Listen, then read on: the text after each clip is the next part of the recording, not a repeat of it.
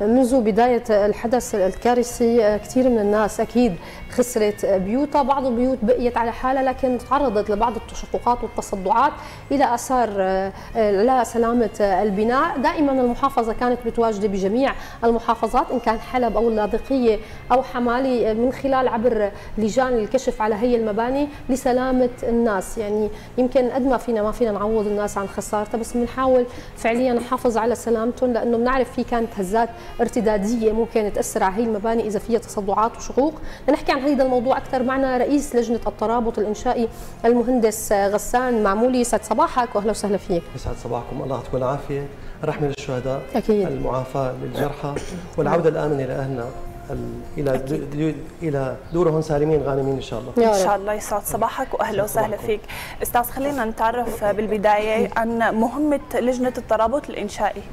هي لجنة الترابط الإنشائي في محافظة دمشق. هي وحده ضمن أجهزة محافظة دمشق.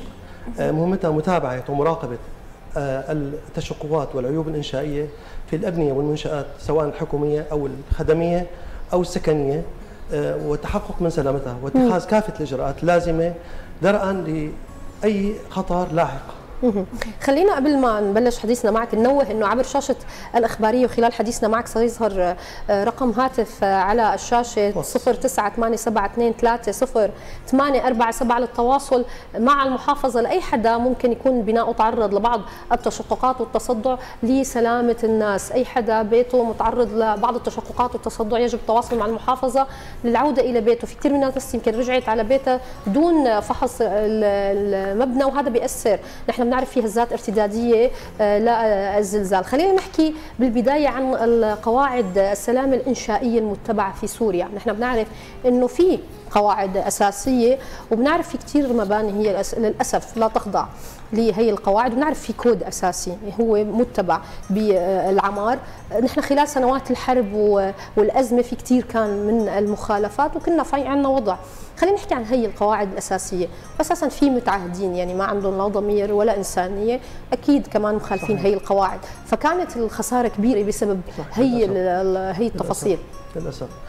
ستنا الكريمة القواعد الأساسية. إحنا دائما أي مبنى يتم تنفيذه بينعد له دراسة دراسة إنشائية بسموها المخططات الانشائيه تصادق عليها نقابة المهندسين. طبعا نقابة المهندسين بالجمهورية العربية السورية حطت أسس ومحددات تعتمد سمته هو الكود العربي السوري بعد العام 2000 هذه بيعتمد على الكودات العالمية. صحيح لكل بلد في كود على الكودات العالمية. صحيح. حط أسس ومحددات وشروط. تأمن السلامة بعد ما صار أحداث سلاسل بالدول المجاورة. طبعا هي أمنت حققت شروط سلامة أكثر وأكثر أمان. يعني حطت ضمنها زادت نسبة حديد التسليح طبعا طبعا المنشأة. بدها هي مكون من البيتون المسلح. هي البيتون والحديد. زادت نسبة حديد حوالي 15% ككل ألزمت المهندسين الدارسين بإحداث جدران جدران تسمى جدران قص. هي عبارة عن جدران طولية شمال جنوب أو شرق غرب. تحقق السلامه الإنشائية تقاوم حركة الزلازل سواء ذهابا وايابا أو شمالا جنوبا. في نقابة المهندسين بشكل عام حتى بكل المحافظات مهندس الدارس يقدم دراسة تصادق عليها نقابة المهندسين. بعد ما تصادقها في مهندس مدقق بعد ما يخلص مهندس مدقق في مهندس مشرف على المشروع. هالمشرف على المشروع؟ في مهندس كمان بيدقق على عمله. وفي عندنا نحن كمان بدمشق مهندس مقيم هذا مقيم بالورشة. طبعا هدول بيتحملوا مسؤولية وبيتابعوا تنفيذ أعمال الورشة بالمشروع.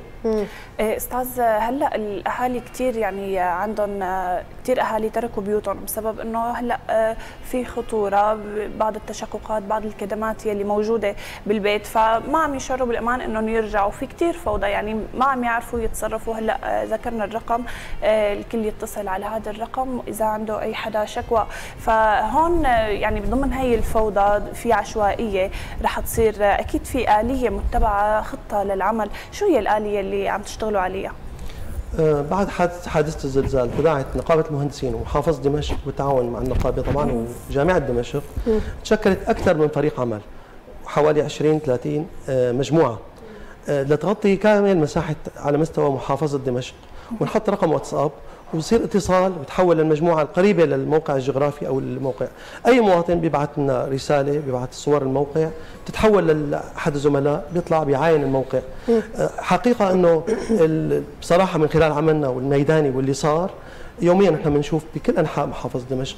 ابدا ما في أي عيوب ما في تشققات لكن صار المواطن السوري يحبه للحياة وبحبه يعني حرصه على حرصه على داره وعلى منزله. وصار بقى عنده الرؤيه إنه لازم يطمن على داري. طيب. أغلب التشققات صراحة اللي شفناها هي عبارة عن تشققات بالجدران البلوك بالتقطيعات البلوك غير خطره لكن وموجودة قبل الزلزال. يعني هذا دليل إنه الابنيه صحيح لنا حسينا بالزلزال وعشنا الحالة اللي بعدها والكذا والبناء صحيح راح وإجا لكن ضل في عنده مرونة طاوع يعني استمر وما صارت أي عيوب أو تشققات أو مشي شو المده اللي بعد أيمت مثلا إذا حكوا الأهالي اتصلوا بعد أيمت بيتحرك الفريق لحتى يطلع يعمل كشف على البيت؟ تقريبا تقريبا ثاني يعني مو المده طويلة؟ لا لا لا ابدا ابدا. بصير بياخذ النتيجه يعني عفوا إحنا مو موضوع زيارة وتوصيات وكشف سطحي.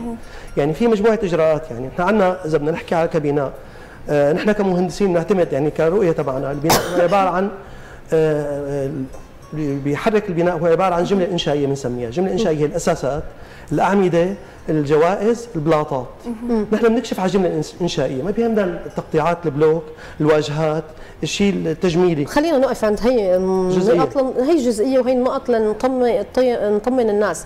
كثير من الناس مثلا مثل آه، استضفنا عدة مهندسين عدة مبادرات عم يحاولوا آه، يعني يضموا جهودهم مع المحافظة لأنه بنعرف قديش في ضغط بالمحافظات لهي اللجان ودوبا عم تقدر تلحق. خلينا نحكي معك بعض الأجهزة آه، عم يتم كشف المباني بهي الأجهزة وشو هي المؤشرات اللي بتقول إنه هيدا المبنى في مشكلة. يعني أصحابه ما بيقدروا فعليا يبقوا فيه لأنه غير آمن.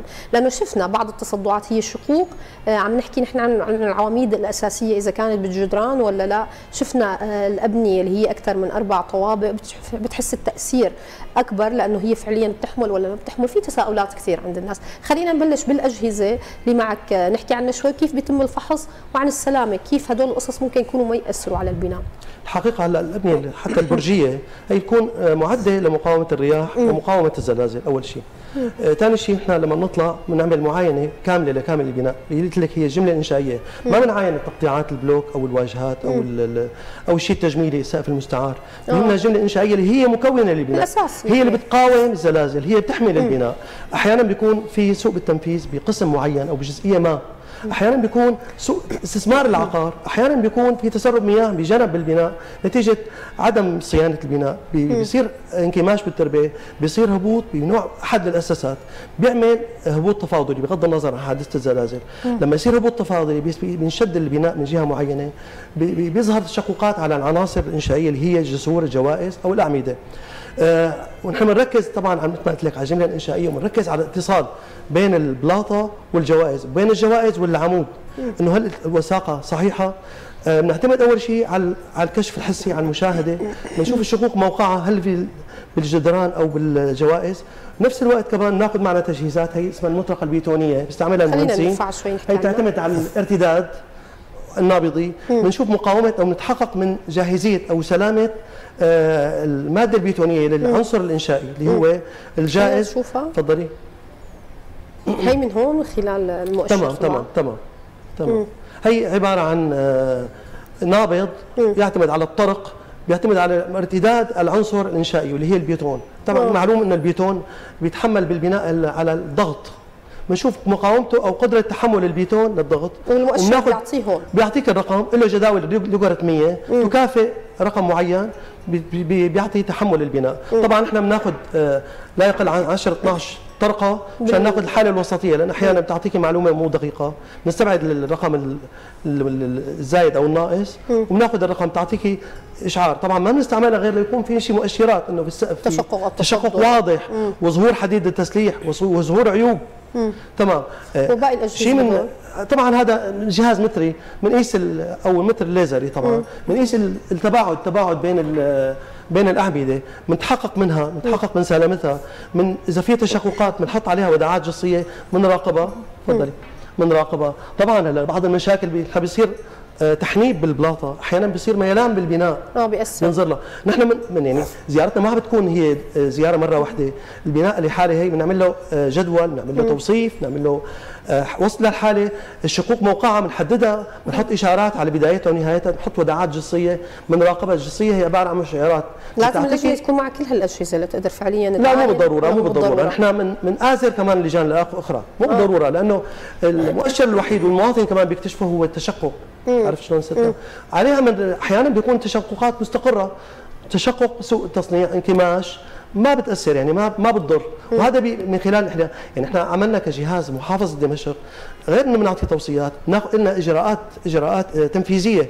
باشراف سي- سي- سيد محافظ دمشق. في حال اذا لقينا أي خلل إنشائي أي شيء بنوجه المواطن بنقول له أخي هذا عندك ضرر يستوجب شو تعمل هو المؤشر؟ يعني لما تقول إيه، هذا مثل ما قلت لك البيت خلال سليم. خلال خلال خبرت خبرتنا التراكميه التراكمية. بنشوف إنه في عنصر إنشائي يستوجب إنه يشكل خطر على السكان. الحمد لله هذا شيء نادر المواطن بيتعاون بس معنا. مشان الناس تسمعوا مثل شو؟ يعني اللي عنده بيته متضرر تشققات بالبلاطة ظهور حديد التسليح المكون للبلاطة أو العمود أو آه، الجوائز له. آه نتيجة عطل بالصرف الصحي نتيجة سوء التنفيذ بالبناء أو قدم البناء اهتلاكه. يعني مع- معلومة إنه يعني مواطننا هلا انتبه لموضوع سلامة إنه لازم لازم بشكل عام يتنبه. لثقافه إنه صيانة المبنى أو صيانه صيانة البناء اللي عايش فيه أو اللي مستثمره متابعته. إذا في خلل بنعالجه من البدايه يعني في عندنا حالات مثلا أحيانا خزان آه، جماعي لبناء برجي. بتظهر حديد التسليح. هذا من بيظهر حديد التسليح. الحديد إذا ضل مكشوف الحديد ال- ال- المكون له آه، بيصدي. إذا صدى مستقبلا بي- بيتفتت. بيهتلك وبالتالي بنعطي توصيات بنعالج والتوصيات هي عبارة عن إجراء أولي بيساعد يعني ما نوصل لنتائج كارثية. شفنا كثير من الجدران صار فيها تشقق. آه، هون وقت أنتم بتطلعوا كشف بيتم التركيز على تشقق الجدران هي بتعتبر أكثر خطورة من تضرر الأعمدة والجسور ولا اثنيناتهم بيوازوا بعض بنفس الخطورة؟ 100% الجملة الإنشائية هي اللي بتشتغل. وموضوع الجدران عبارة عن تقطيعات الغاية منها إنه الفصل أحيانا بيكون مثلا طابق أرضي هالجدران بيكون انفصال. نتيجة مادة الجدار بتختلف عن مادة البيتون المسلح. بصير انكماش تفصل هذا الفصل هذا بيكشفها نحن ال- ال- الخبير يعني. ما إنه خطير يعني. ابدا ما له خطير. أحيانا بيكون حركة تيب الكهرباء. أحيانا بيكون في تسطيحة سابقة. عمر الطينة أحدث من عمر الموجود. إيه بتنكمش مع الوقت تنكشف. نتيجة الزلزال اللي صار. هلا اهتز البناء يعني نحن اهتزينا. بقى هالعيوب أحيانا بتظهر لكن مو معيبة. أنا بنصح يعني نتيجة العالم إنه شعرت يعني إحنا دورنا تطمين للمواطن ومن ضمنه وبنتحمل يعني مسؤولية كلامنا. بنصح المواطن لا عيوب لا كذا. بعد ما نحن نعطيه إرشادات نقول له للمواطن سكر هالتشققات. منه أول شيء بيطمن بلاقي بيته يعني بتعرفي ملجأ والبيت. طيب لحتى نطمن ومنه بنفس الوقت- هذا الشق آه، عم تقول إنه نسكره. قد إيه لازم تكون آه، مساحته المفتوحة لحتى هو يسكره من حاله ما يجيب لجنة ويكون خطير هذا الشق مو. بالضرورة. الجدار البلوك دائما بتكون تظهر تنسيمات تنسيمات بسيطة. أحيانا بيكون تريح بالتربة.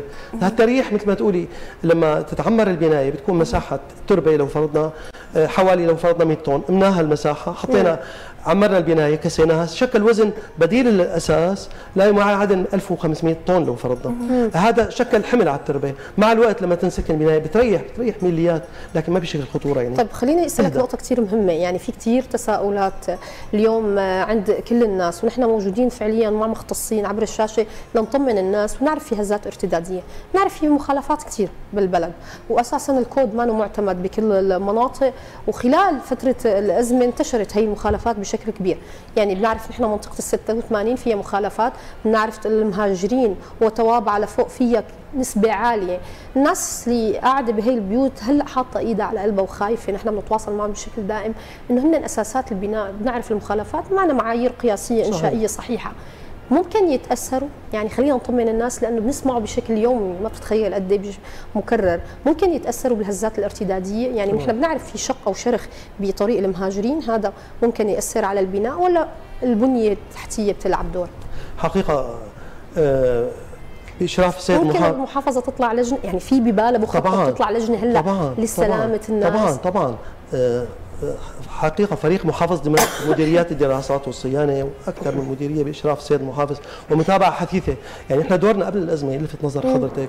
نحن أي حالة أي شيء إنشائي شافه حدا من الجيران من السكان موضوع السلامة هي خط أحمر يعني. بقي بكافة الأوقات يعني. لا سمح الله صارت حريق صار انفجار نيه غاز صارت حادثة ما ليلا أو نهارا يعني. السيد المحافظ آه، بتوجيه ومتابعه حديثه للحالة. نطلع عليها بنعاين الموقع بنحط حلول بناخذ إجراءات فورا احترازية. شو هلا الإجراءات اللي رح تاخذوها لهدول المناطق المخالفات الإجراءات عم ناخذها يوميا ومتابعة بشكل دوري أي إبلاغ من المواطن بعيدا عن الإبلاغ نحن بنعرف في مخالفات كبيرة عم شو الإجراءات؟ المخالفات الموجودة القديمة.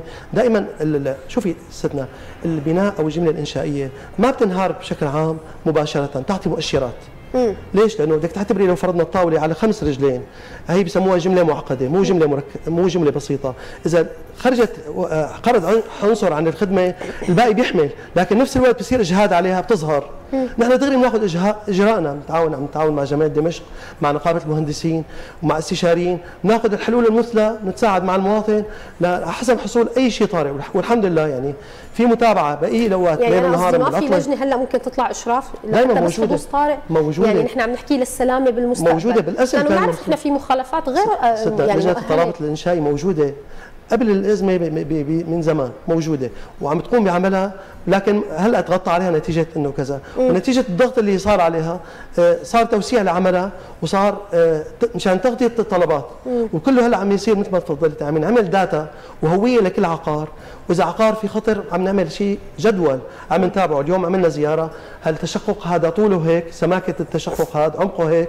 التشقق أحيانا بيكون سطحي مو كامل للجهة الثانية. أحيانا تشقق بالبلوك أحيانا بيكون العطل من من عين العيب. أحيانا بيكون العطل هو صرف صحي. لازم نعالج العطل قبل ما نعالج الخطر. أو نعالجهم اثنين على التوازي. طبعا الحمد لله على سلامتكم نتمنى السلامة للجميع ولكل الأهالي اللي تضرروا. ونتمنى لهم السلامة والتعويض. وانتبهوا على حالكم. إن شاء الله تكونوا استفدتوا من هي النصائح. شكرا كثير لك المهندس آه، رئيس لجنة الترابط الانشائي المهندس غسان معمولي. شكرا كثير لك شكرا لكم. شكرا أهلا وسهلا فيك. أكيد بنتشكرك على وجودك. معنا بنتشكر المحافظة في جهود جبارة بس واجب في واجب إن شاء الله عند عليكم اليوم لكل المناطق المخالفات. نحن مسؤوليه على الجميع. يعني لازم يكون في لجنة مشرفة لتعمل إشراف هذا الشيء عم يصير. ومعاينة لكل المناطق والانديه أنا بأكد لك هذا الشيء كله عم يصير وبإشراف سيادة المحافظ يعني عمل حسيس صدقا. شكرا لك. شكرا لكم.